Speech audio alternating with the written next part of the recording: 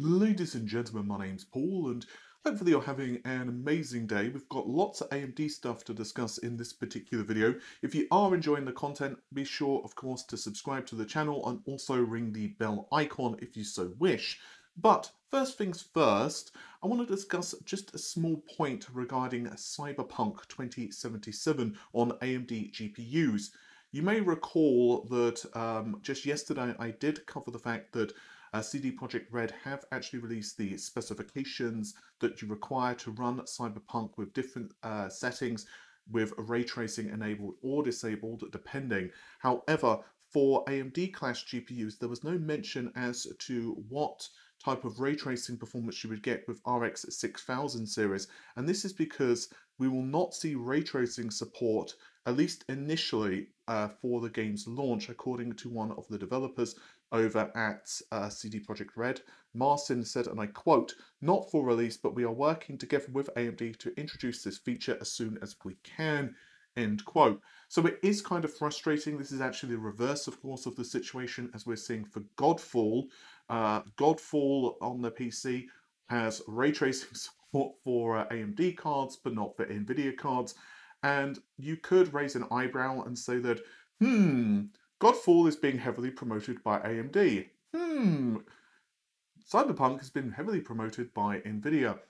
But you can also levy other particular theories as well, like maybe it just hasn't been optimized as much. Obviously, the PS5 uses AMD class uh, GPUs, so you can also argue that as well. Honestly, I'm hoping this trend is not going to be one we see consistent throughout the generation because that obviously is not going to do anything to help adoption of ray tracing. I think it's probably just that we are quite early into the release of RX 6000 class cards. I mean, developers, to my knowledge anyway, have not had great access to the RX 6000 series.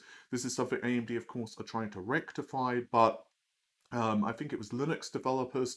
Uh, some of them mentioned they didn't have access. I think it was uh, uh, Valve as well. They didn't have uh, RX 6000 cards. So obviously, there's a very good chance that this is going to start to rectify itself as the generation increase uh, sorry uh, proceeds and hopefully that is the case because um, it is obviously very frustrating um, I also do wonder if this is going to have anything to do with the release timing for AMD's upsampling technology, which is going to be early next year. Of course, this is going to essentially compete with NVIDIA's DLSS or Deep Learning Super Sampling.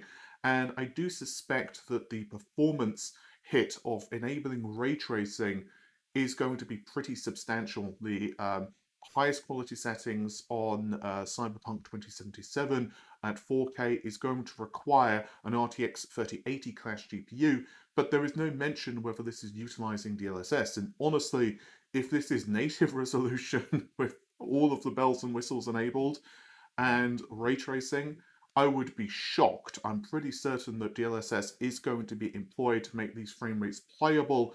So possibly this is another reason that we're going to see the uh, slight delayed rollout for the RX 6000 series so that it can indeed be used with uh, AMD's DLSS like solution, which of course is uh, super sampling, sorry, super resolution. Just real quick, I also want to discuss Turin, no, not Turing, Turin. It's take the G off. there you go. It's actually the successor to Genoa, the server range of processors from AMD. Genoa utilizes Zen 4 along with 96 cores, an increase from 64, and also DDR5 and PCIe 5 technology. But we already know the successor of this, and this is uh, going to be Turin. This has actually been confirmed by Executable Fix on Twitter, um, who is a pretty well respected slash well known leaker. But prior to uh, their announcement on Twitter, which is you know just recent, I believe it was Charlie over at Semi Accurate that first leaked this.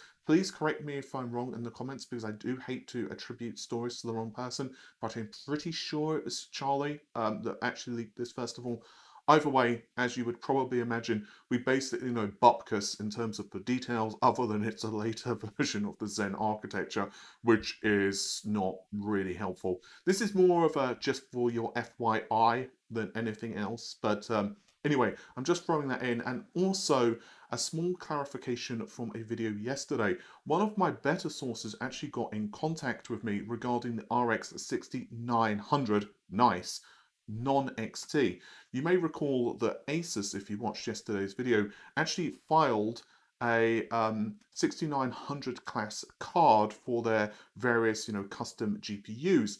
And it was kind of a head scratcher because if you take a look at the number of compute units of the 6900 XT 80, and then you look at the number of compute units in the 6800 XT 72, and considering there's no real difference in memory configuration or anything else other than clock frequency, I think it's fair to say that it was a bit weird that this was the case. Like, how where is the where is the room in the product stack to uh, to slot in a 6900 non-XT?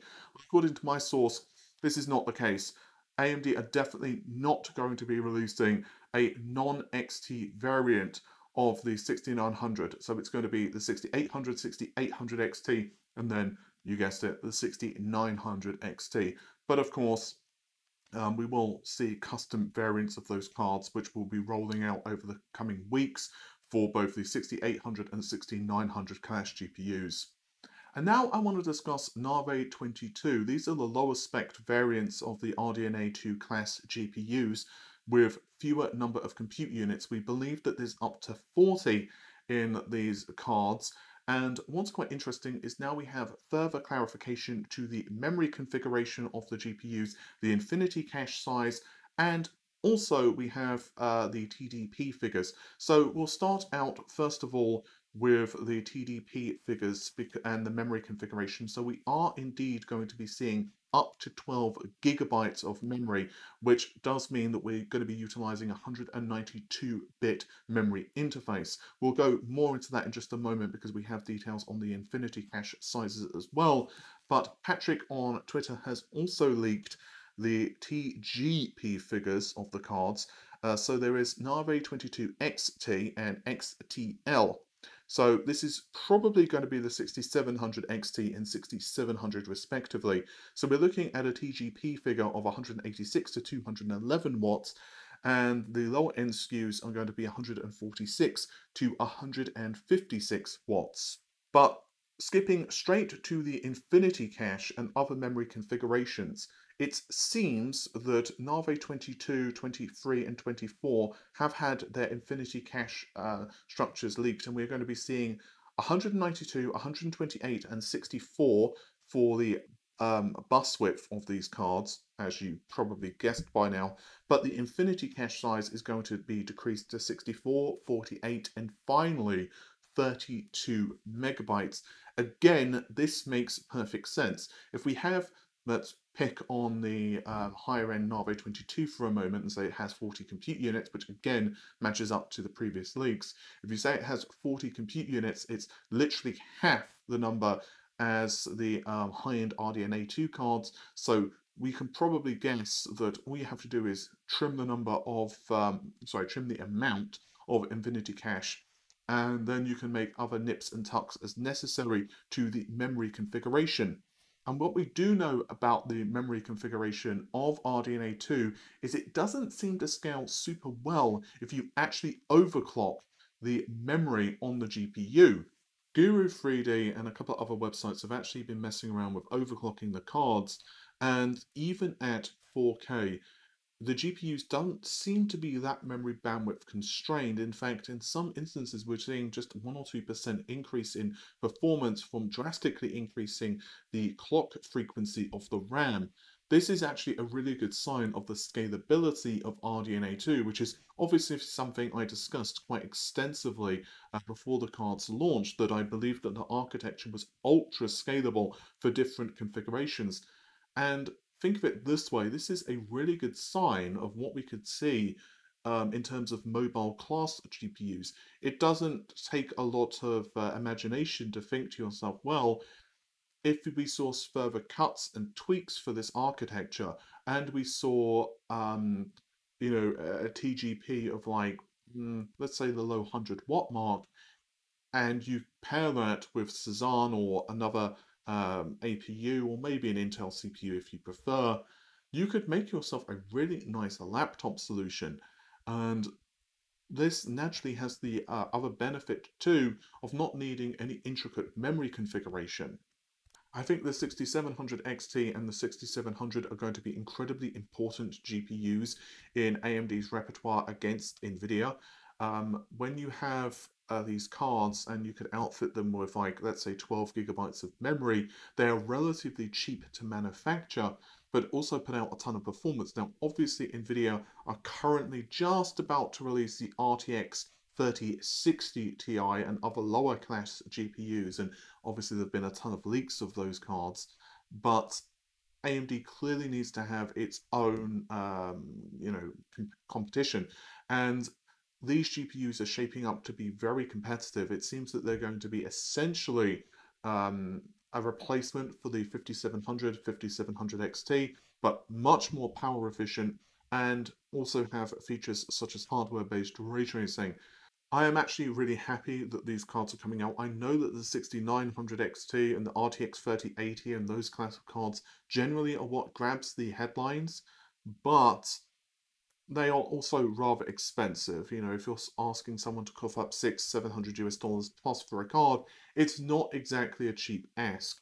And given that 4K displays are not exactly plentiful at the moment, yes, some people are using their uh, PC on a um, like TV, 4K TV, but in terms of PC monitors, 1440p is becoming a lot more popular. So you can make a very good argument that you don't really need an RTX 3080, for example, on a 1440p monitor. Yeah, sure, it's nice, but it's not required. Um, so I'm going to be very happy to see yet more choice in this area when the 3060 Ti's and 3060s and the RX uh, 6700 and 6700 XT launch. I think that's going to be a really good positive for consumers. But anyway, I think that's just about it for this particular video. Hopefully you have enjoyed it. The normal stuff, if you have, like, share, comment, and subscribe. And I'll see you soon. Take care yourselves. Bye for now.